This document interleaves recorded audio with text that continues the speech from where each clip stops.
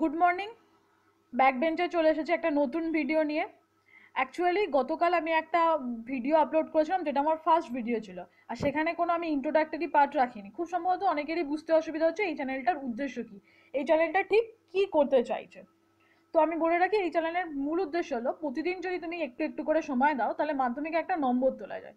নম্বর বললেই তোমাদের মাথায় আসবে যে ঠিক কত নম্বর তাহলে আমি পেতে পারি। দেখো, মাধ্যমিক শিক্ষা পরিষদ কিন্তু তোমাদের নম্বর সম্পর্কে একটা ক্লিয়ার ধারণা দিয়ে দিয়েছে যে কেমন ধরনের কোশ্চেন অ্যাটেম্প করলে তুমি কেমন নম্বর আশা করতে পারো।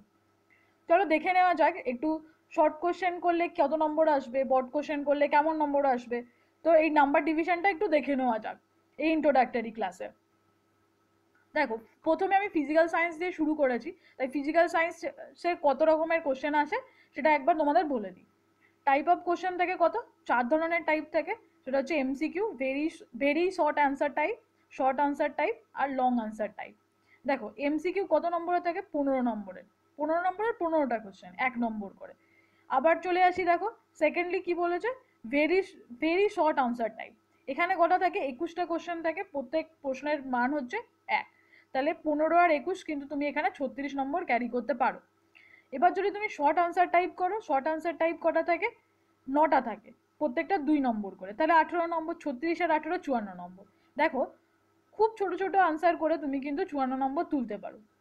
তারপরে রইল কি লং আনসার টাইপ যেটা হচ্ছে তিন নম্বরের তিন নম্বরের কটা থাকে? বারোটা থাকে।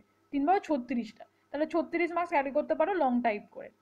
শর্ট টাইপের মধ্যে কিন্তু তোমার বেশি নম্বর, চুয়ান্ন নম্বর রয়েছে। তাহলে আমি চেষ্টা করব যে শর্ট কোশ্চেনগুলো তোমাদের অনেকটা করে করিয়ে দেওয়া এবার দেখো, আমি যেই শর্ট কোশ্চেন করাবো সেটা তো আছেই। এবার তোমাদের যদি কারোর কোনো ডাউট থাকে, কোনো শর্ট কোশ্চেন যদি মনে হয় যে পাচ্ছি না, তো এখানে লিখো, লেখো কমেন্ট বক্সে লেখো, আমি এগুলোর সলভ করে তোমাদেরকে দেওয়ার চেষ্টা করব। এটাই আমার ইন্ট্রোডাক্টরি পার্টটা আগে দিইনি, তাই আমি এখন দিয়ে দিলাম। সবার যদি বুঝতে কোনো অসুবিধা থাকে, জিজ্ঞেস করো কমেন্ট বক্সে আর যদি ভিডিও ভালো লাগে, তাহলে লাইক শেয়ার সাবস্ক্রাইব করে দিও। Thank you